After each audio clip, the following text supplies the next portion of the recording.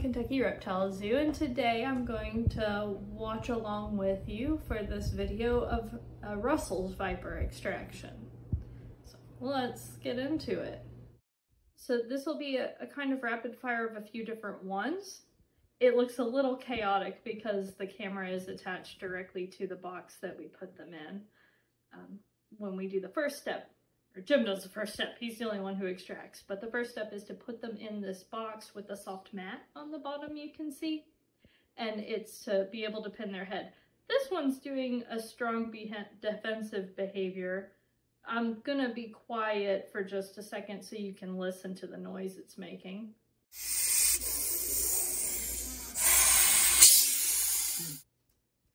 So it's huffing and puffing. Russell's vipers tend to do this as a defense. They make a loud sound.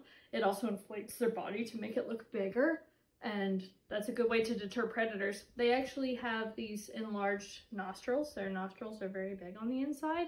There are some other snakes that have this as a way to resonate that hissing sound really loud.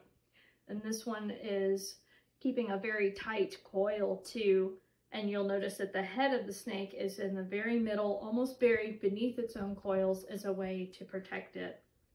But Jim, of course, needs to be able to grab their head to do that. So on to another one who behaves entirely differently. It doesn't put up any defensive behavior. It's much easier that way for the snake and the human. But of course the snake, it's not their fault. They don't know what's going on. They think this could be a predator-prey uh, interaction because the human's a larger animal than them and is trying to restrain them. So that's why when we do extractions, we do this, but then we'll wait two weeks before we did it again. Because as you can see, the snakes are reacting defensively, so they do feel stress. They see this as a potential threat, and they're acting in ways that make sense to them. This one is crawling out of the box over and over, just trying to get away from him. These things aren't going to stand and fight. They'll try to protect themselves, and one of the best ways to do that is to crawl away. So this one is doing that repeatedly. The venom that we collect is sent to um, a company that makes a diagnostic test, uh, one of the diagnostic tests used for lupus. Russell's viper venom has actually been in medical use for decades. Uh, back in the 19, 1950s-ish, it was known as Stypven, and it was actually used as a, like a way to, like a styptic. It helped with um, clotting. Uh, so there were advertisements for it as a way to um, clot up small wounds for things like tonsillectomies and such. It's very interesting. Look like this? Was he doing this? Yeah. It's like, oh yeah. And, uh, reptile store Huber Heights. Oh yeah?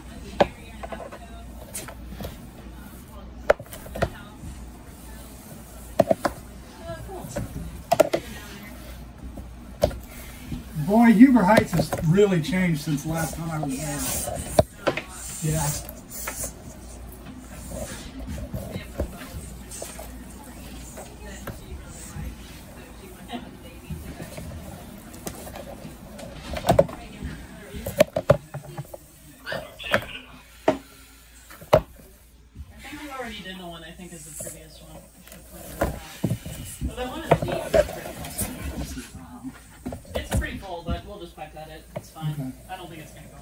Do you think you're going to uh, have three grams?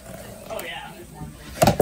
Okay. Well, you need to uh, This is a pretty one, Kristen. Oh, yeah, that one is real pretty. Can I get it? Well, if it'll cooperate enough. You need to get it back in the thing. There's too much. Yeah, we need to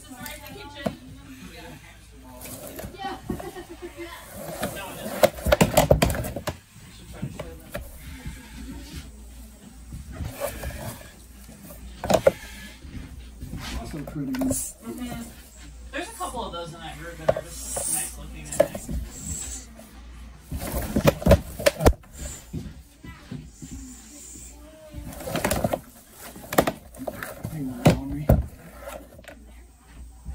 So here's our last one.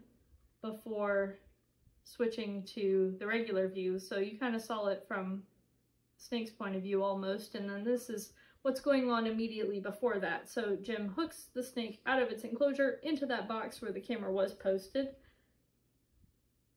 That one's doing some more huffing and puffing. He gets his hand in position, and then he'll have it come to the funnel. And because the snake feels something touching their mouth, they feel threatened, so they bite down.